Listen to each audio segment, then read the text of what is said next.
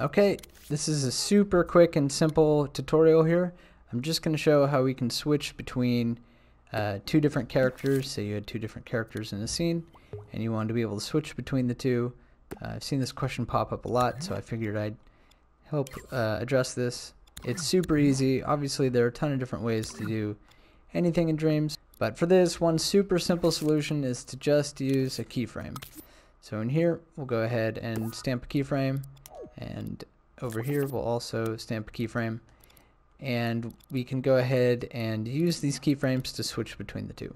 So let's say for both of these controller sensors we'll have uh, force nope, force possession on okay?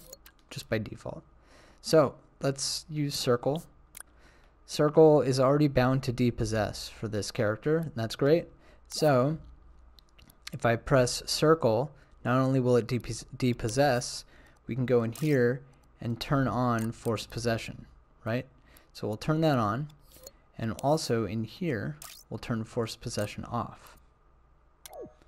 Okay, and then over in here, we'll turn forced possession off for this one, and in here, we'll just make sure the forced possession is on.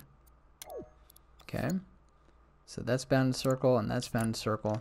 So now if we start time, we can see I'm this taller puppet, and if I press circle, the imp switches to the other character. Right, and if I press circle again, it switches back. So let's say you don't like the imp zip, um, depending on your needs, I mean, you could get a global settings variable out and turn off imps altogether, um, so that that way there's never any imp.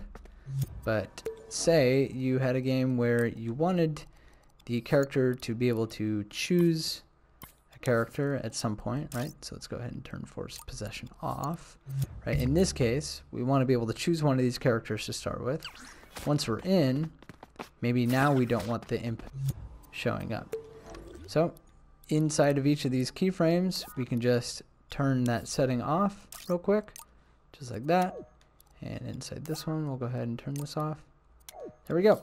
And that's it. So now we get to switch or choose our character at the beginning.